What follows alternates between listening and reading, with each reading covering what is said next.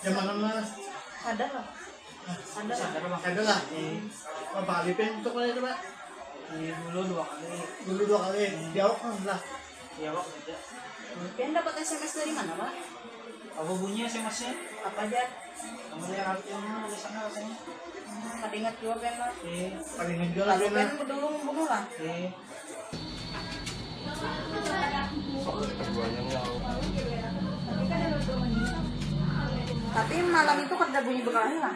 Ada memang kan kau juga enggak kalau siapa tapi kan bisa terdengar kepalanya yang besar besarkan ke pacar jalan kan ada Anu kakak, ini kakak lah.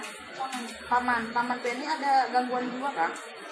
Menderita kayak itu kah? Atau diobati? oh, jadi memang jawab memang harus gitu biar itu tuh harus minum obat harus gitu lah kayak kalau menenangkan pikiran biar Ini masih minum obat kah sih, Din? memang Kada lagi? mati Masih lah. katanya ada yang mau istrinya tuh mau ngeracunin dia gitu aja Hmm.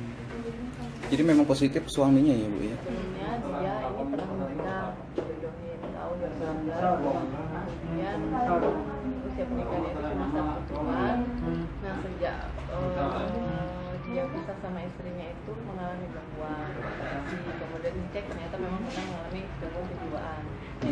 Kejiwaan dan itu rawat jalan. Kita proses lanjut nanti si pelaku ini kita observasi lagi di Samanglikum jadi ada surat keterangan dari Samanglikum yang menyatakan memang dia benar-benar mengalami gangguan kejiwaan